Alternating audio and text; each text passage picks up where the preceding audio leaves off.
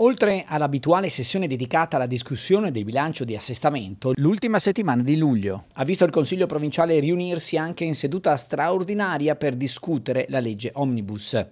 Questa conteneva, insieme a disposizioni che facilitano l'assunzione nel servizio pubblico di persone con disabilità, il rafforzamento delle farmacie rurali e la regolarizzazione di personale sociosanitario assunto durante la pandemia, l'introduzione di un limite ai posti letto in ambito turistico.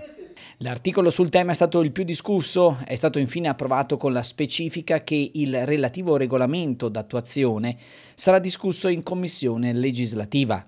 La legge Omnibus è stata approvata con 15 sì, un no e 14 astensioni in quanto al bilancio di assestamento prevedeva l'assegnazione di 404 milioni quale avanzo disponibile dal rendiconto 2021.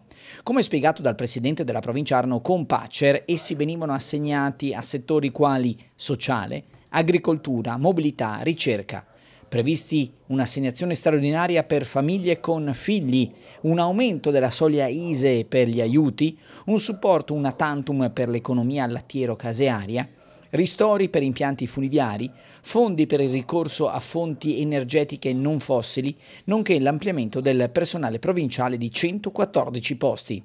Gruppo Verde, Movimento 5 Stelle, Freiheitlichen e Team K hanno espresso voto contrario al disegno di legge di assestamento, sia per il passaggio di un miliardo di euro dal fondo di riserva senza controllo, sia perché ne risultava una cattiva programmazione iniziale, sia perché privo di focus sul sociale, come rilevato anche da Südtiroler Freiheit. Il relativo disegno di legge è passato con 18 sì, 13 no ed un'astensione.